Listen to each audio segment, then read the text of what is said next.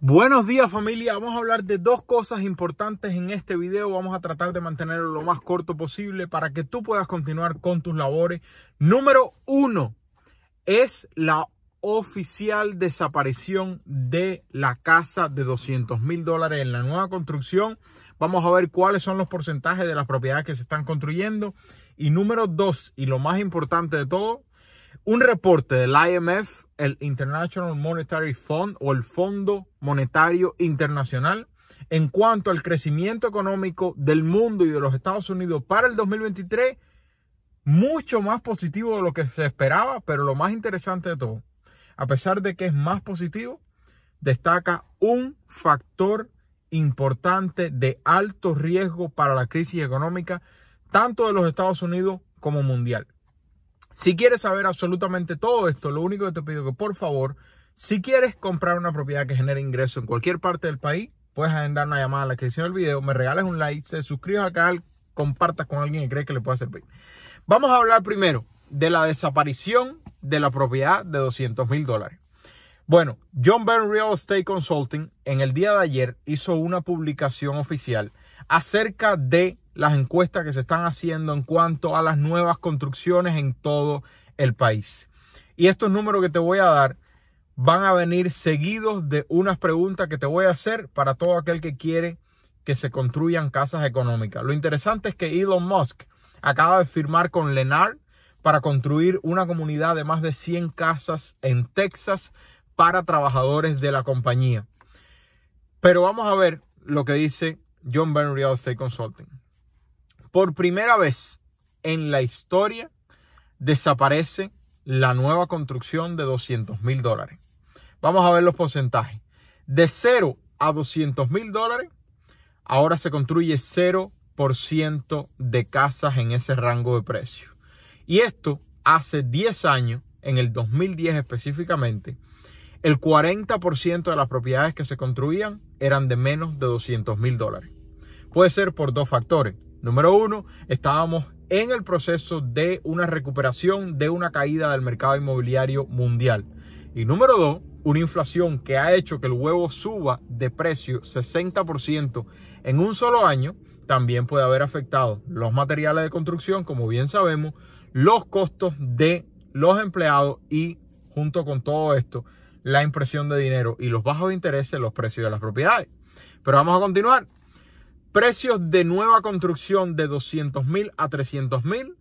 Alrededor de 11% de las propiedades que se construyen en el día de hoy. Sin embargo, la tendencia es a que cada vez se construyen menos de estas propiedades. 28% de las propiedades que se construyen en el día de hoy entre 300 a 400 mil dólares.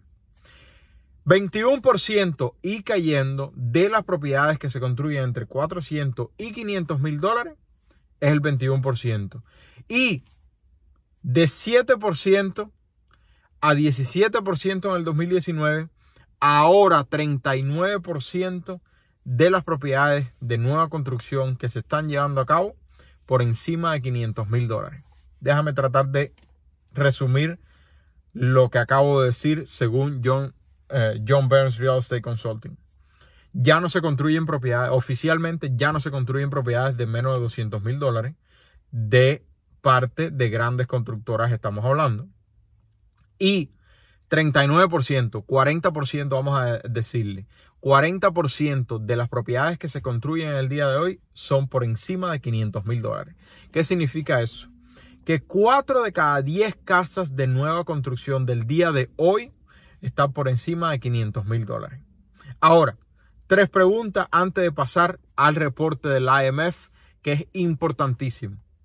Número uno, el vendedor con tasa hipotecaria de 3% y un pago mensual récord bajo va a vender su propiedad de menos de 200 mil dólares? No me parece. Número dos, los precios de los materiales de construcción se han desinflado lo suficiente para que se vuelvan a construir propiedades de 200 mil dólares. Junto con esto, los precios de los terrenos no me parece. Y número tres, una de las más populares que las personas esperan, una ola de foreclosure. Es posible que suceda en los próximos años, pero hasta ahora ninguno de los reportes que podamos mirar está ni siquiera cerca a los niveles que teníamos antes de la pandemia. Por múltiples razones. Ya hemos hablado de esas razones anteriormente. Pero no estamos ni de cerca de los números de foreclosure que se necesitan para estar en etapa normal. Entonces, mi pregunta para ti es, ¿de dónde va a venir la propiedad económica si ya no se está construyendo? si no hay una ola de foreclosure, si los vendedores tienen tasa hipotecaria récord baja y por lo tanto pago mensual y no tienen incentivo para vender, y si los precios de los materiales de construcción y de los terrenos continúan altos. ¿De dónde van a venir las, las propiedades económicas? Por favor, explícame de dónde me encantaría investigar al respecto. Entonces, el IMF, el Fondo Monetario Internacional, dice que la economía mundial se ve mucho mejor de lo que se esperaba en octubre del 2022 y crecerá ahora 2.9% en el 2023, 0.2% por encima de lo que predecían en octubre. O sea, están viendo un mejoramiento en la economía para el 2023 a nivel global, no Estados Unidos, global. Vamos a hablar un poquitico también de lo que dicen de Estados Unidos y del mayor riesgo para los Estados Unidos y para el mundo entero en cuanto a la economía dice que, número uno, un mercado laboral fuerte a nivel global. En los Estados Unidos lo estamos viendo. Eh, de hecho, esta semana son las publicaciones de los resultados de empleo, tanto por mercado privado como regular. Número dos, el consumo familiar continúa fuerte. Número tres, la inversión de negocios es alta. ¿Y esto qué significa? Bueno, número dos, el consumo familiar continúa fuerte cuando tú comienzas a tener realmente problemas financieros, tú empiezas a reducir tus gastos. Hay veces que es muy tarde y ya cuando empiezas a reducir los gastos ya estás hasta aquí de deuda. Pero ¿qué ha dicho American Express? Que no ven rastros en lo absoluto de una recesión. El consumidor continúa gastando y gastando y gastando. Número tres, inversión de negocio a niveles altos. ¿Qué significa esto?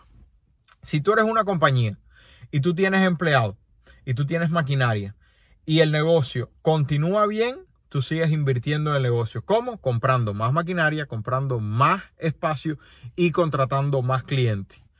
Por el otro lado, si tu negocio está cayendo y no estás teniendo suficientes ventas, tú no compras una nueva impresora, tú no contratas dos empleados nuevos, tú no coges una oficina más grande. ¿Y qué es lo que dice el IMF? que la inversión de negocios está a niveles altos a, nivel global. Número cuatro, ya pasamos el riesgo de recesión para el 2023. El IMF elimina por completo la recesión en el 2023. Y número cinco, la inflación ya tocó su pico en el tercer trimestre del 2022 y a partir de ahora solo va a continuar bajando importante esos cinco aspectos por parte del IMF. Ahora, en cuanto a los Estados Unidos, dice, el Producto Interno Bruto, según el IMF de los Estados Unidos, va a ser de 1.4%, por encima del estimado de la Reserva Federal de los Estados Unidos, que va a ser de 0.5% solamente. Sin embargo, dicen que el desempleo sí va a aumentar alrededor de 5% para el 2024, a pesar de que no represente un riesgo para la economía de los Estados Unidos, porque estamos en una tasa de desempleo récord baja, 3.5%.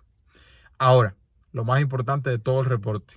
Pero, si no aumenta el límite de deuda, puede ser un gran choque para la economía de los Estados Unidos y mundial y por lo tanto causar una crisis económica que no tenemos manera de calcular.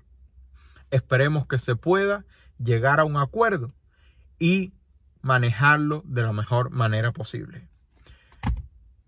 Importante que el IMF, el Fondo Monetario Internacional, diga que la economía mundial está, está positiva, que no ven rastro de recesión ya en lo que se espera del 2023 y que ve un Producto Interno Bruto de los Estados Unidos más positivo de lo que lo ve la Reserva Federal. Sin embargo, destaca la importancia de una solución al límite de la deuda de los Estados Unidos porque haría una crisis económica en los Estados Unidos y por lo tanto una crisis económica mundial. A esto eh, realmente no podemos hacerle mucho, pero a lo que sí te, te, te ruego que por favor, te ruego que por favor, si tienes información de propiedades económicas que yo pueda investigar y compartir con ustedes para ver cómo podemos utilizar esa información de manera positiva, envíamelo al correo de la compañía, va a estar ahí abajo. Ahora, de la forma en la que se ve a modo general, la propiedad económica poco a poco y poco a poco y poco a poco va desapareciendo y no se construye. No se construye, el vendedor tiene tasa hipotecaria récord baja, no vende. No hay una ola de foreclosure que se pueda ver en las hojas de balance ahora mismo. Y además de esto, los precios de los materiales y los precios de los terrenos no están bajando lo suficiente como para crear propiedades nuevas económicas. Entonces, mi pregunta para ustedes, ¿de dónde va a venir la propiedad económica? Ese es el mayor problema que tienen los Estados Unidos. Ahora, si no sabes por dónde empezar, aquí hay seis pasos que yo espero que te sirvan.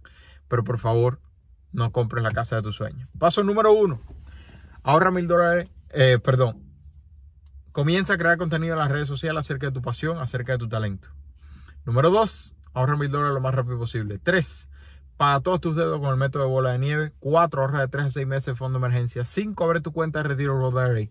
Y seis, no compres la casa de tu sueño, compra una propiedad que genere ingresos. Y no sabes, si no sabes buscarla y ya estás preparado para comprar, sería un placer para nosotros poder ayudarte en cualquier parte del país donde te encuentres. Se le quiere familia. Si te gustó, regálame un like, suscríbete al canal y comparte con alguien que crees que le pueda servir. Que tenga un bendecido día. Bye bye.